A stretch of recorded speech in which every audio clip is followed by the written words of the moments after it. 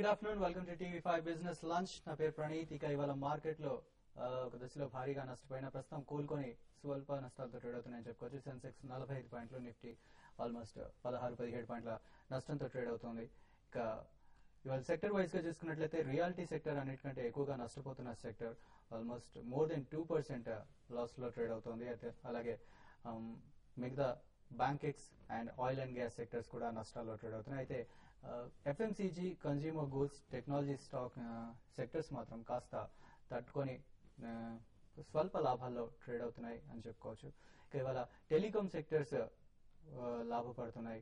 ఈ రెండు ఆ, దీనికి సంబంధించిన రెండు stocks Bharti and Idea Cellular more than four percent లాభాల్లో ట్రేడ్ అవుతూ ఉన్నాయి. అలాగే ఎడ్యుకామ్ సొల్యూషన్స్ కూడా almost more than six and half percent లాభపడుతూ trade అవుతున్నాయి. అయితే ఆ, ఇవాళ మార్కెట్ క్లోజింగ్ ఎలా ఉంటుంది అలాగే ఈ రికవరీని నిలబెట్టుకుంటాయా మళ్ళీ వీక్ అయి భారీ నష్టాలతో ట్రేడ్ అవుతాయా? అలాగే మీ కాల్స్కి సమాధానాలు ఇవ్వడానికి అనలిస్టులు శేషు గారు అలాగే అనలిస్ట్లో ఉన్నారు మనతో పాటు? శేషు గారు ఫస్ట్ స్టార్టింగ్ విత్ యూ మార్కెట్లు టెక్నికల్గా ఎలా ట్రేడ్ అవుతున్నాయి ఉన్నాయి మార్కెట్స్ అయితే ఇప్పుడున్న పరిస్థితులు టెక్నికల్గా చాలా వీక్ ఉన్నాయి. గత వన్ వీక్ నుంచి ఇక్కడ చూస్తుంటే మార్కెట్లో మనకి వన్ సైడ్గా one side direction market down down ప్రతిరోజు కూడా డౌన్ అవుతూనే వచ్చింది. మరి ముఖ్యంగా నిన్న ఈ రోజు ఇంట్రాడే వోల్టాలిటీ కానీ చూస్తే నిన్న నిఫ్టీ ప్లస్ ఫార్టీ నుంచి మైనస్ సెవెంటీ ఎయిటీ పాయింట్స్ అంటే ఒక one one fifty one twenty points రేంజ్లో నిఫ్టీ వోల్టాలిటీ ఉంది. తర్వాత మళ్ళీ అక్కడి నుంచి రికవరీ ప్రెస్లోకి రావడం చూసాము. సో మార్కెట్లో ఏంటంటే ఒక ఫ్రెష్ బయింగ్ అనేది ఫాలో బయింగ్ అనేది మా మార్కెట్ ఇంత పడినా కూడా బయింగ్ అనేది ఫ్రెష్ బయింగ్ రావట్లేదు దాంతోపాటు ఈసారి చాలా మంది అందరూ కూడా హైయర్ లెవెల్స్లో లాంగ్ పొజిషన్స్ తీసుకొని స్టక్ అయిపోయి ఉంటారు. వాళ్ళందరూ కూడా ఎవ్రీ ర్యాలీని ఎగ్జిట్ కావడానికి ప్రయత్నం చేస్తున్నారు. దీంతో పాటు ఎఫ్ అండ్ ఓలో మనకి next week F and O closing దీనివల్ల ఏంటంటే వోల్టాలిటీ మరింత ఎక్కువైంది. ఈవెన్ మనకి ఏషియన్ మార్కెట్స్ ఈ రోజు నిన్న ఈ రోజు చూసి పెద్ద నెగిటివ్ అయినా కూడా మన మార్కెట్ బాగా వీక్గా ఉంది. దీంతో పాటు ఆల్మోస్ట్ అన్ని అన్ని మార్కెట్ కూడా పెద్ద వీక్నెస్ కనపరచకపోయినా కూడా మన మార్కెట్ ఎక్కువ వీక్గా ఉంది. నేను కూడా ఒకటి రెండు రోజుల్లో నిఫ్టీ ఈ level five nine three zero చాలా క్రూషియల్ సపోర్ట్గా నిఫ్టీకి చెప్పొచ్చు. ఈ రోజు కూడా చూసాం ఫైవ్ నైన్ త్రీ జీరో నుంచి ఈ రోజు రివర్స్ అయింది. నేను కూడా ఫైవ్ నైన్ త్రీ జీరో నుంచి రివర్స్ అయింది.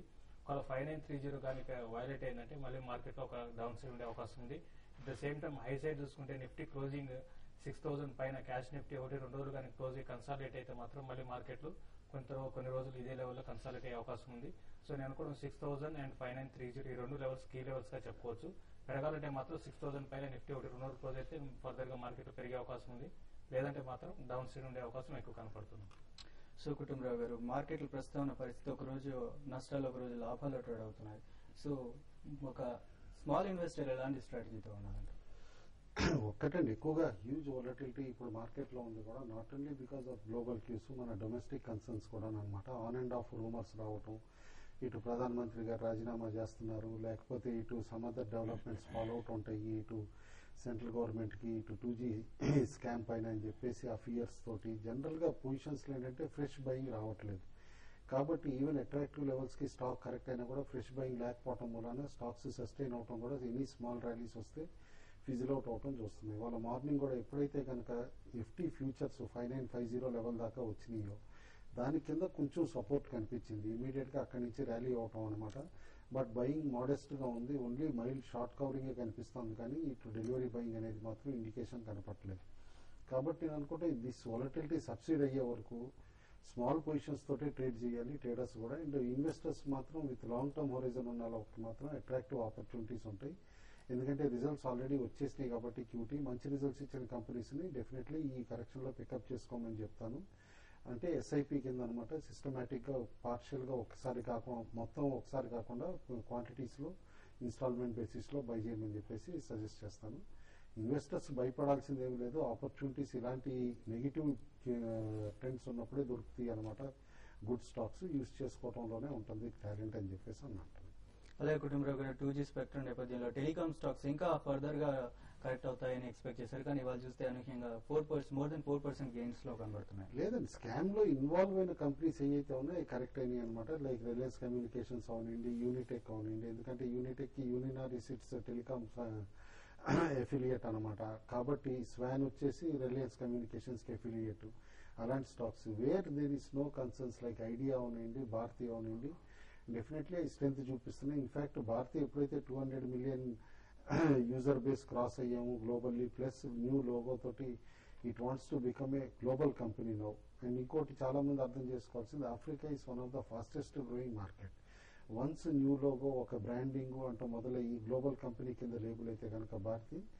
even in medium term stock all the way four twenty four thirty లెవెల్స్కి with in six months వచ్చే పాసిబిలిటీ కూడా ఉంది.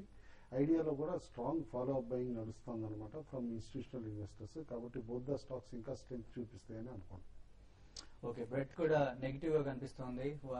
టూ ఇస్ వన్గా eight hundred more than eight hundred stocks డిక్లైన్స్లో కనబడుతుంటే more than four hundred stocks అడ్వాన్సెస్లో కనబడుతున్నాయి first caller మనకి ఖమ్మం నుంచి రవి గారు లైన్లో ఉన్నారు. రవి గారు గుడ్ ఆఫ్టర్నూన్. హలో ఆ, నమస్తే అండి రవి అండి ఖమ్మం నుంచి. చెప్పండి. సార్ ఈ రేట్లో శ్రీ ఇన్ఫ్రా బై చేయొచ్చా sir? Sorry? Srei Infra sir. Okay. Long term కోసం షార్ట్ షార్ట్ టర్మ్ అండి?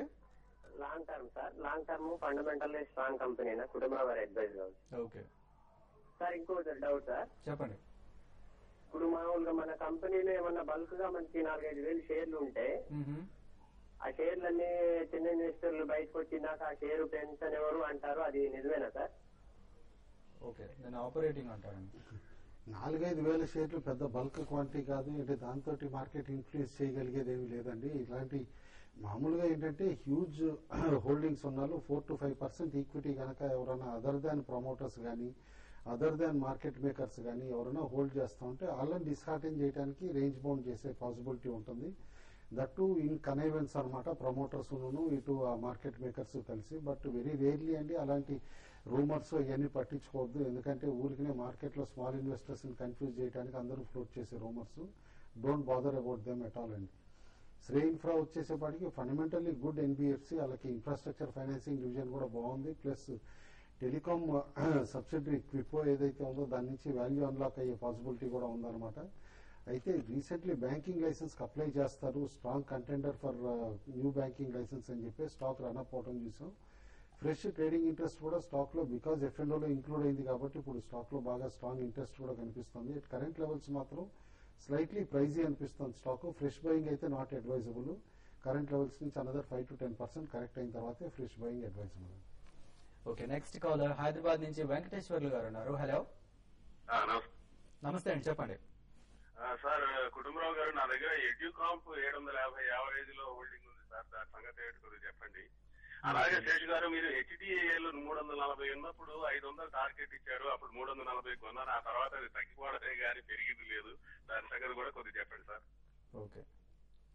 First of the Educomp ఎడ్యుకాప్లో recent strong buying interest కనిపిస్తుందని last two to three days నుంచి. ఎందుకంటే బేసికలీ మనం చూసే ఉంటాం మన ఈవెన్ ఆంధ్రప్రదేశ్లో కూడా శ్రీ చైతన్యలో ఇటు new silk route private equity fund దాదాపు త్రీ ట్వంటీ క్రోర్స్ ఇన్వెస్ట్ చేస్తుందని ఇటు ట్యూటర్ విస్టాలో వచ్చేసి అనదర్ ప్రైవేట్ ఈక్విటీ ఫండ్ కూడా two hundred and eighty crores పెడుతోందని. అంటే చాలా హైట్ అండ్ ఇంట్రెస్ట్ ఎడ్యుకేషన్ సెగ్మెంట్లో కనిపిస్తుంది ఫ్రమ్ ప్రైవేట్ ఈక్విటీ ప్లేయర్స్ అనమాట అయితే అందులో leading scrip listed entity Educomp and recently బాగా హ్యామర్ డౌన్ స్టాక్ కూడా వాల్యుయేషన్స్ అట్రాక్టివ్గా ఉన్నాయి కాబట్టి కాస్త రీన్యూడ్ బయింగ్ ఇంట్రెస్ట్ కనిపించింది. But this is only relief rally అంటాను. ఎందుకంటే కాంపిటీషన్ పెరుగుతోంది. స్టాక్ ఇంకా హయ్యర్ పీఈలో ట్రేడ్ అవుతుంది.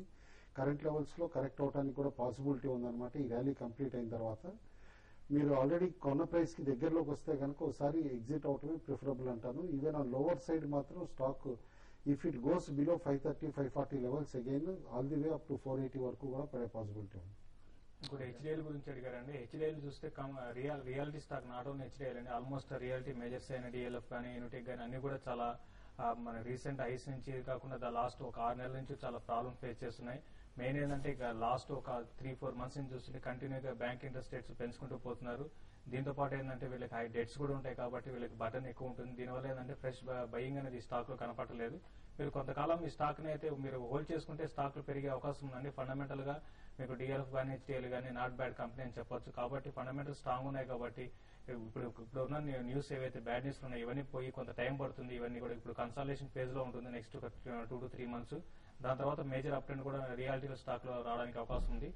సార్ రియాలిటీ స్టాక్స్లో మేజర్ అప్ ట్రెండ్ వస్తే ఒక టూ మంత్స్ త్రీ మంత్స్లోని వన్ ఇయర్ ఏమాత్రం ఏ మాత్రం పెరగలేదు. అంతా కూడా పెరిగే అవకాశం కూడా ఉంది.